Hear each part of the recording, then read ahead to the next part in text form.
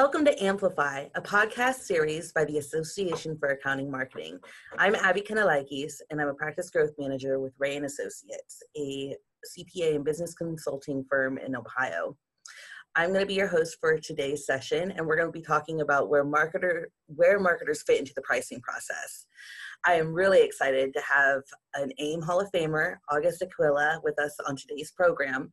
August is founder of Aquila Global Advisors, where he works closely with firms across the country to help them find solutions to challenges spanning succession planning, mergers and acquisitions, firm efficiency and profitability, and compensation design.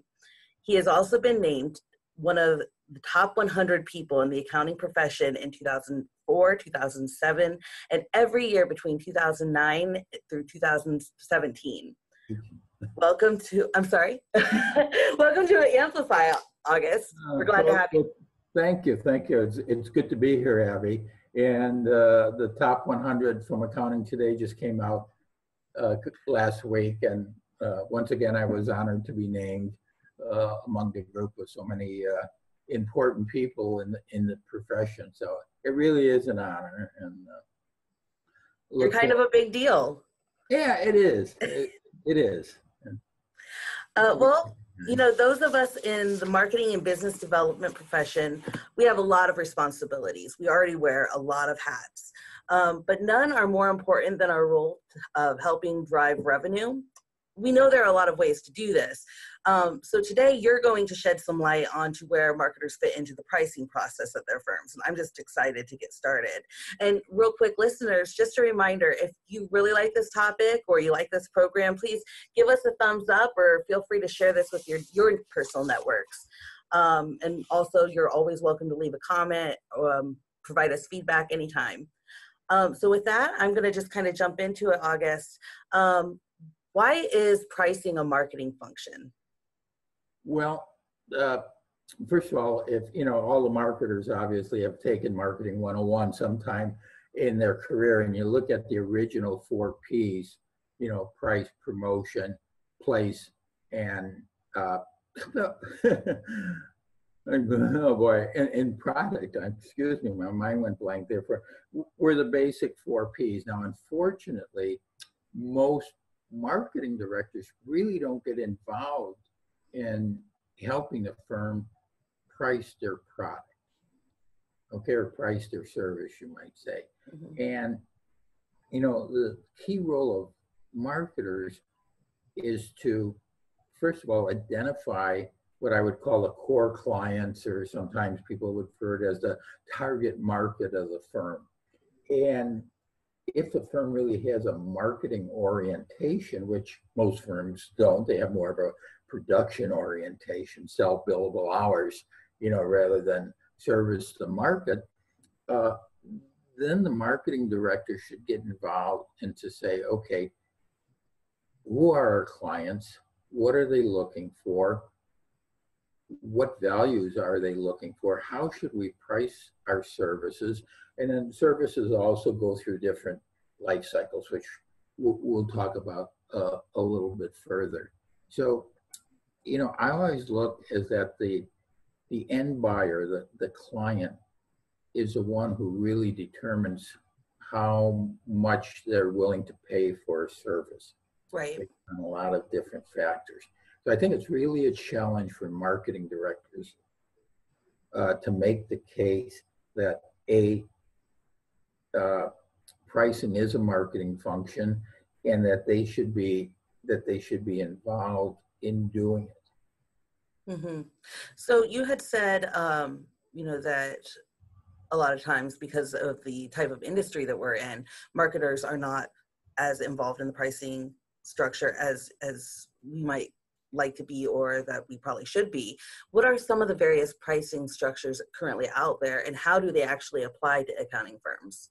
Well, it, you know, if you again, if you go back to sort of looking at, you know, basic marketing concepts, and if you look at at different firms, and let's take for example Microsoft, uh, not Microsoft, but Apple. Apple is a great example of sort of skimming uh, a market skimming price, mm-hmm. right? And what they do is that the, they know a few people or more than a few people in Apple's case, but you know, when they come out with a new product, they're able to charge a lot for that product so that they're they're skimming the market, so to speak. They're they're charging an exorbitant amount sometimes for a phone, much more pricier than than other people.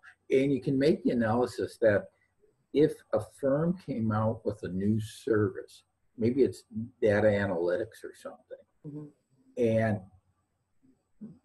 in, in that for larger clients, that's such a an important need is that why would you charge your normal billing rate to provide that service when you could charge a lot more? And most firms, I don't think, think that way, or they should be thinking that way more often than they are. So that market skimming would be one way. The opposite of that was you have you want to get into a market, a geographical market, maybe an, an industry or a niche, and you're going to buy into that market, you know, and that's basically called market penetration, right? You, you go in there, you offer your service, your product at, at a lower cost to get into the client and to, and to build a relationship to build that market. So that's another example of, of, of pricing your services differently, maybe for a limited period of time, whether that's six months, eight months, a year, I don't know. Uh, and then some firms, if you look in every market, whether it's a an accounting firm or a law firm or a consulting firm, some firms have what I would refer to as sort of a prestige pricing. So if you think of an Accenture, if you think of a McKinsey consulting, Mhm. they really charge, and they charge a lot for their services, but it's under the, I guess it's under the concept that we are the best. We're going to provide you with the best service, and that's why you're you're paying more for our people to do it than you know the firm down the block. So that's just you know three different examples that you could look at when you look at you know all the different marketing and pricing structures out there what could a firm actually use at, at different times and not necessarily across the board, but for individual industries or niches that they're trying to, you know, promote or develop their position in. hmm You've worked with a lot of firms. Uh, what is some, you know, probably the most popular pricing orientation of some of, you know, the firms that um, you deal with every day? Yeah, well, you know, I, I think traditionally the most popular is just the, the billable hour. You know, is that I work three hours on your account. My billing rate is hundred dollars an hour, two hundred dollars an hour. So I charge you the multiplication of the times of the time that I spent times my billing rate. But unfortunately, that has no relationship to the value that the firm is providing to the, to the client. You know, it's an easy way of doing it, and I think it it permits the uh, the service provider not to have really a deep relationship with the client. In other words, I don't have to really get to understand you, get to understand your needs, Mhm. what your wants are, because if I understand that, then when you're asking me to do something, I can sort of determine or with you help determine what the value of that service is to you and then and then price it accordingly. Now, you know, in in firms firms do this because if, if you're a staff member and you're making, you know, hundred thousand dollars a year, they'll figure that your cost to the firm is that hundred thousand dollars divided by an average work year, 20,000, 2,080 hours, which is approximately, your cost now is $48 an hour to the firm. Right.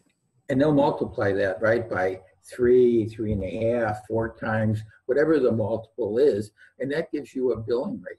But there's, again, there's no correlation between that billing rate and the value that you do. You know, if you do a 1040 tax return, or if you're involved in some sort of litigation support or merger activity, isn't the value between those two activities really different? And if you charge the same rate for your merger activity as you would do for a, a, a tax preparation, in one instance, in the tax preparation, you're probably overbilling the client. And in the other instance, you're underbilling the client. Yeah. Yeah.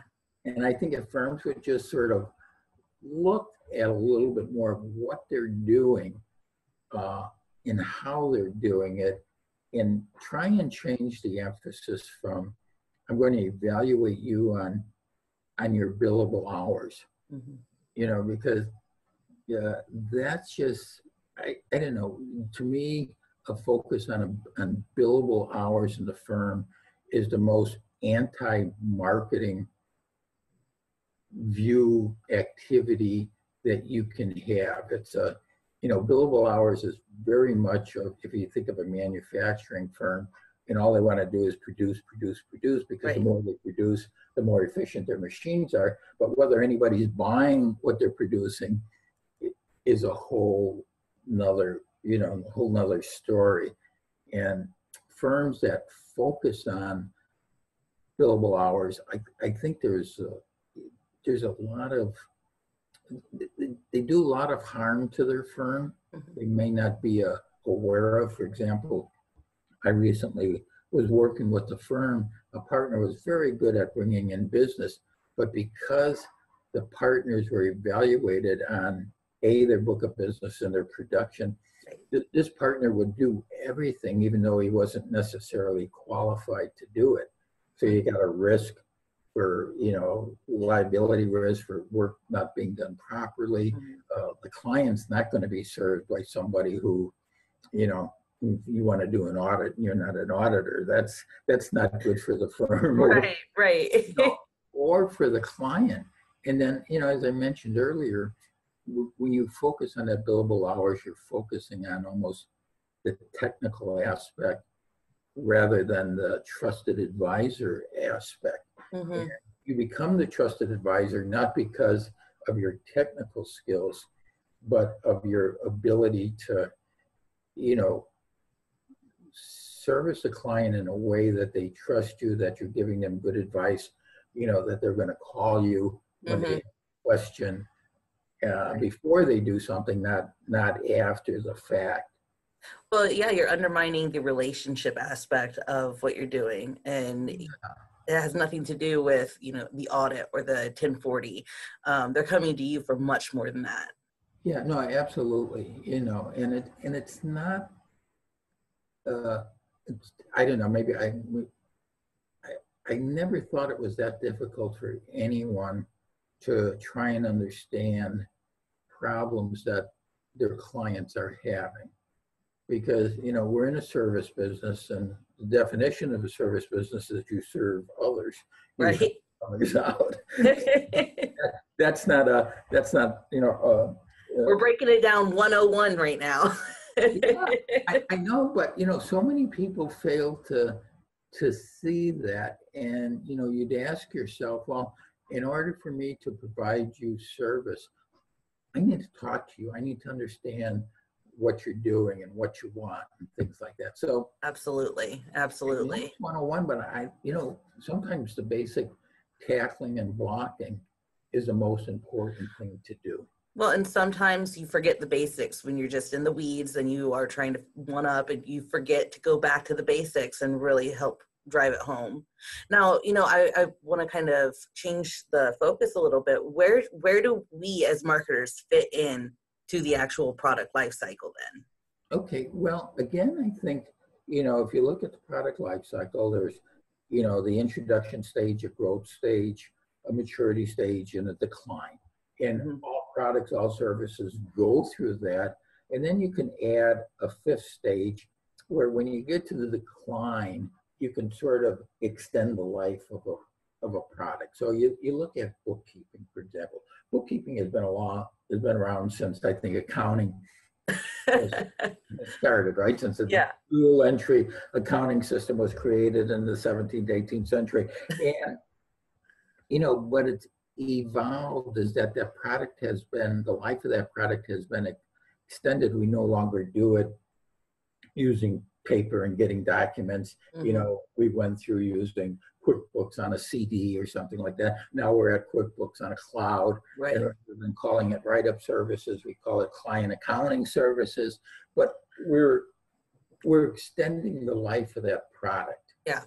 Okay, and it, in the information and the value that we give to clients obviously has, has evolved uh, over the years. Um, so when you, when you think of, you know, where are your products? If you look at audits, again, audits are in a very mature stage. And you see that through the competitive pricing out there. And, you know, from a, from a marketing director's perspective, when you, when you market that, how, how do you really differentiate your, uh, how do you differentiate your audits and how do you price them differently in the market? Maybe a little bit more competitive pricing audits in the market uh, than you would uh, a, a product or service in the introductory or or growth stage. Right. if you're in litigation support, if you're in technology or something, excuse me. Uh, No, I think, and I think you're right. And, but it's also what, what is the value? What makes you different? Why is this audit different from this audit? And how does the marketer help um, differentiate that for the firm? Yeah, and, and I, excuse me, and I think what really differentiates us is maybe if you can, you know, maybe if you can add some real value to an audit, but what really differentiates the services at the end of the day are the people that are providing that service. And it's really critical that, you know, as the auditor, yeah, my audit skills are, are, are top, are critical and that's sort of a given but how well do I understand the the client's Mhm. business, their industry, especially you know when you're working with non-public companies, is that the business and the owner are so integrated Right. that one always affects the other. And you know, clients have in the research I've done, clients have told me is that there is a value. I don't know if you can put a dollar figure on it, but there is a value to the service provider, to the client who really understands their business and their personal needs. Absolutely. You know, Where, where does a value and utility fit in and how that affects pricing? Okay, well, I think there's two key aspects in, in pricing. And that's what you just mentioned, utility and, and value. So let's give a basic definition of, of utility. I think utility, a service or a product has utility when it's able to satisfy a need. So utility goes with satisfaction that, that the client is seeking, all right? So there are different types of, of utilities. For example, you know, a form utility is a traditional type of utility. And those, how, how do you translate that into a, an accounting practice? Well, I want my, we'll go back to client accounting services. You know, I want my information uh, electronically. I want to be able to access at any time. I want it on the cloud. Well, if you don't provide that service, that type of service, even though you provide accounting, uh, client accounting services, there's no form utility there. Right. So you need, so this goes back to understanding what the client wants, right? Yes. Clients may want it electronically, some clients may want it, I don't know, some other, some other fashion. Um, you know, then you have, can you meet the client's deadline? So that's a, that's a basic time utility. You know, I need this report by the third week in March so I can give it to my bankers, et cetera, et cetera. Can you deliver on that? And then, you know, there's sort of a, a change utility is that the service you provide, does it create a change in the client's uh, assets in their mind or something like that. Mhm. So I had an estate plan done recently. now I have peace of mind. So that's the change that I was looking at. And I think marketers, and, and maybe we fall into the same trap as as our accounting brethren, as that we're we're we're so busy, we're trying to do so many things. It, it's hard for us to step back and look and say, hey, wait, wait a minute, let's, what, what's this client really looking for? You know, let's ask those questions to the client when we're out scoping an engagement more than anything else. And then, you know, clients always have an expectation utility. And at the end of the day, what they thought they were going to get and what we deliver, Mhm. you know, if that's significantly different, then you have a dissatisfied client Yes. you know and and and i think sometimes you know these are the discussions or the education you might say that marketing directors should be having with their partners to get Right.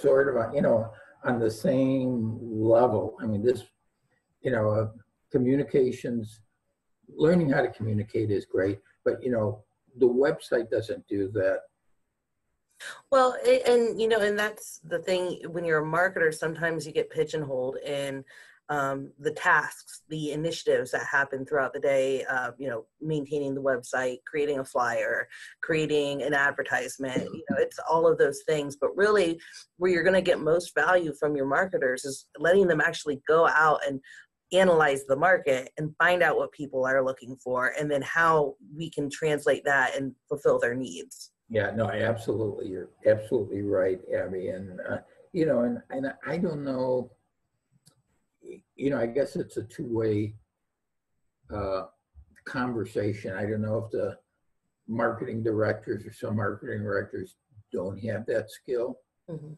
and they're comfortable. There's nothing wrong doing a website, but if you're hiring a marketing director, you know, it's, it's a more global position within the firm. It's not somebody who's just doing a website or, you know, writing a electronic brochure nowadays or helping you put out your newsletter. I mean, that's, that's a very small aspect of, Right. And what do all of those individual things uh, ultimately achieve? And what are what are our goals and how are those tasks helping drive our end goal?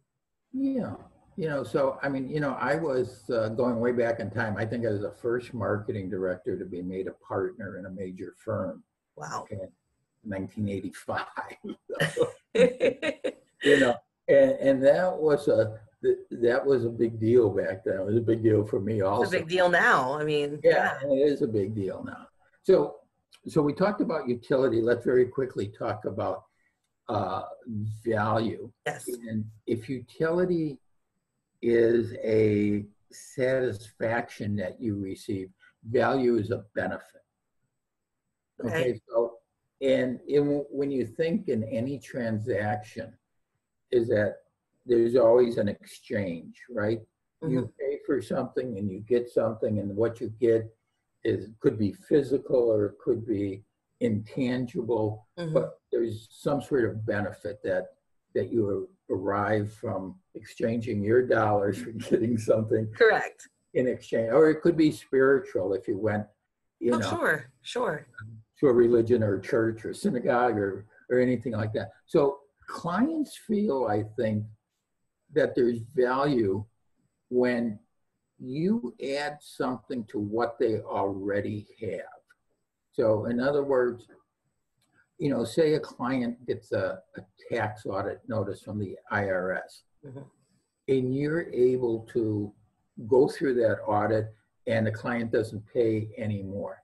Right. So that's a value to them. hmm And, you know, and again, you think, okay, that's a higher value than just doing the tax return.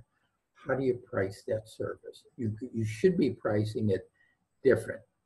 Uh, we talked about earlier about clients perceive that there's value when you understand their business and personal relationship.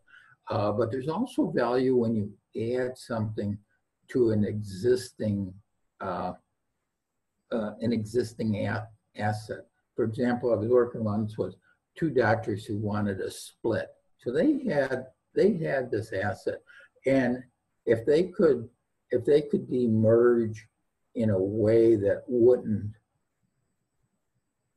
hurt their existing partnership, Mhm. that was a valuable way to resolve their problem of Sure. you know, of demerging. And then I think last, last but least, and is very important, is what's the supply and demand? Mhm. Of, you know, if everybody's offering the service and 40 compliance work, you know, you got a lot of competition, so it goes back to your core clients, et cetera, et cetera. So, Yeah, and that's undoubtedly going to have an impact on what you're charging for a particular Right. service.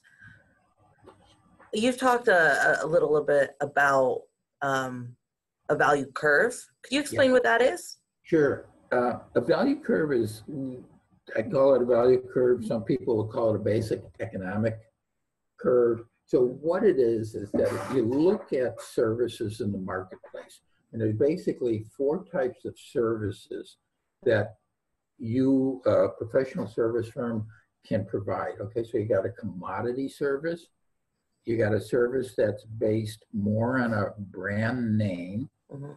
You got a service that's based on the experience of the individual service provider. And then you have what I'll call as sort of the, the rocket science service. okay? And, and studies have shown that in any given market, about 60%, which is a big percentage, 60% of all the services in that market are going to fall in the commodity range, which Mhm. means that you have a lot of competition, a lot of price sensitivity, uh, and what you need to be uh, to be successful in that market is to be high volume, low cost producer. Right.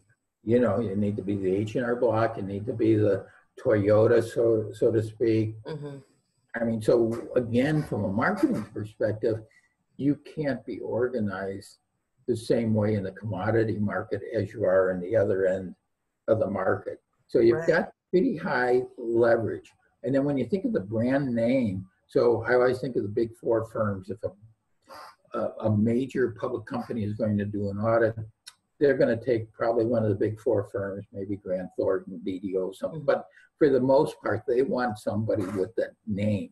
Now, that doesn't mean that a smaller firm cannot be branded in in their area. You know, there are certain firms that specialize in uh, casino work or specialize in now in uh, in, uh, in in Colorado and you know in, in marijuana accounting and things like that. So they've created they've created that brand name. But when you think about it, how do you create that brand name? And then there's about 20% of the market in that. So there's a good percentage of the market if firms really focus in and in on on an individual uh, area or two.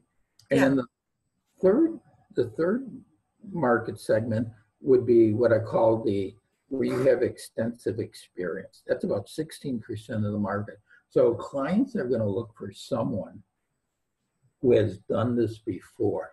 Yeah.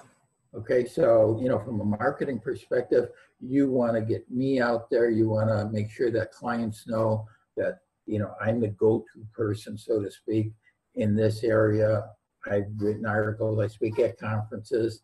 You know, lawyers, your referral sources know that you're the person. You're the that- guy. You're the guy. you're the guy and you can support i mean you, you can charge more for that okay because there's fewer people competing competing with you and usually you can try charge high fees and you have some leverage but it's not it's not your 12 to 1 or 1 to 12 you know like you do at a at a lower level yeah. you got a lot fewer people because they they're looking for you to be the face to do more of the work.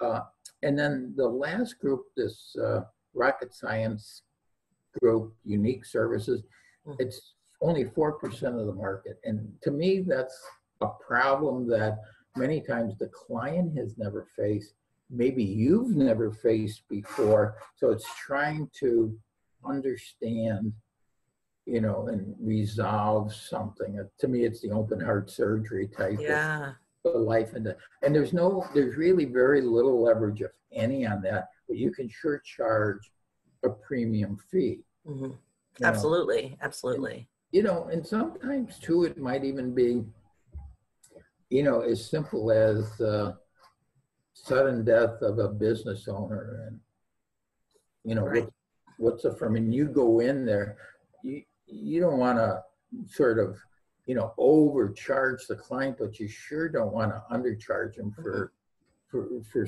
for something like that. So, Yeah. At that point, you're a superhero. So, yeah, yeah, so when you look at it, that's the value curve going up from the commodity up to the, and as you go up the value curve, you should definitely charge more because the value of what you're doing is, is really there. That's that's really great. I like how you explained it. Um, I got a lot out of that, and I know our listeners will too. Uh, now, you've provided some really great insight throughout these, you know, this last half hour or whatever. But how do we actually go about implementing these changes in our, our firm's pricing philosophy? Uh, slowly. yeah, you, you you might you don't want to scare your partners away, but Yeah. this is really an important, you know, important facts, an important way of thinking. You know, I remember several years ago, I was going uh, uh, wherever my barber shop was. and It was more than a barber shop, but you know, I got a letter that the person I was who was cutting my hair got promoted, Mhm. and I got an article saying, "Oh, so and so now is now a, a senior stylist or something like that, and her new rate is." So they were not bashful about, you know, raising raising fees, but I, here's what I think. It's it's always easier to start a pricing change with new clients rather than with existing clients. hmm Uh, yeah, I, I think when you when you go through the process, you've got to understand and think through what's going to be changed, how you're going to make those changes, uh, what's going to be the obstacles that your partners are going to throw up, how do you overcome those obstacles.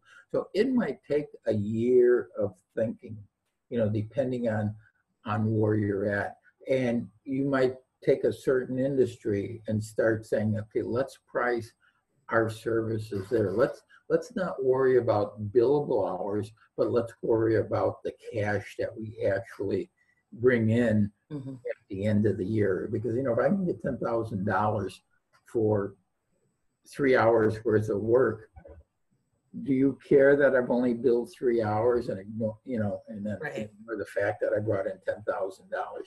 So, you know, what firms have done, some firms have gone into using a menu approach, especially for taxes. hmm So, you know, if you got a, and this is very common in, in a lot of small to mid-sized firms is that every schedule that you have on a tax return, you, you add more. Uh, I mean, that's one way of looking at it. The other way of looking at it is that, you know, educating, hmm. sh- sh- showing your partners what they collected under the existing system and what they might have been able to collect under a new system because money always talks. So hmm. if you can show them, if you can show them the difference, and one of the things that I think is really important is that more and more firms, rather than saying, you know, here, we'll do your write-up work or we'll do this, they're giving clients options of levels of services, right? It's like American Express card has a green card, Right. they have a gold card, they have a platinum card, they have a black card, and it's the same card. It does the same thing. Sure, there's a few more benefits, Sure. you go from fifty-five dollars to thousand dollars uh, a year to pay for the card. Yeah. And and what they're doing is they're they're offering different, you know, different different levels of of what somebody can do. So you, you know, if you look at client write-up services, your your very low service could just be the base. You're just doing it and you're putting it into format and nothing else. And then there, the next level up, you might add some consultation, but the price goes up significantly for that consultation. Mhm. And, you know, and, and when you change from a billable time to almost a, a fixed fee in many cases, then it's, uh, you know, it's the responsibility of the service provider to manage that engagement more Yeah. effectively. Because right now, every time somebody touches a tax return and moves a paper from here to here, they put an hour down. But what's the value? Do they add any value to the Yeah. to the end, to the end product? Yes. So, you know, I think it's a, it is a difficult thing to do. Uh, it's a whole change in the in the mentality, I think, of the firm going from billable hours to really more client service, client satisfaction, uh, Mhm. figuring out what the client really wants. You know, and all those things ultimately tie into into marketing in the sense. Yeah. Well, and you know, I think you know one of the biggest things that listeners and viewers can take from this episode of Amplify would be, you know, you have the common mantra think outside the box. Well, for this, it's, you know, start um, adopting the mantra think outside the billable hour and think how you can communicate that to the partners you know there there's a strategy in that it's it's an art form to that but if you have to shift your thinking um, beyond the billable hour in order to be successful Right. well that's all the time we have today uh, and i want to thank you so much for joining us you really uh, you know helped really solidify where we stand as marketers in in the pricing structure and how to bring that to market and how to sell, help sell that to our partner group um, so i really do want to say thanks august Okay, well, thank you, Abbey. I, it's been enjoyable. All right, this wraps up another episode of Amplify. If you like this episode, leave us a comment or share it on your with your network on social media. Uh, and if you really like the great content that we are able to provide you through this program, we would like to encourage you to sign up so you uh, are able to get uh, access to this. Get a reminder every month. It's a really valuable way to uh, help help uh, add value to what we do uh, as an organization. Uh, I'm Abbey Kanellakis, and I'm encouraging you to keep aiming high. Listening. We're always aiming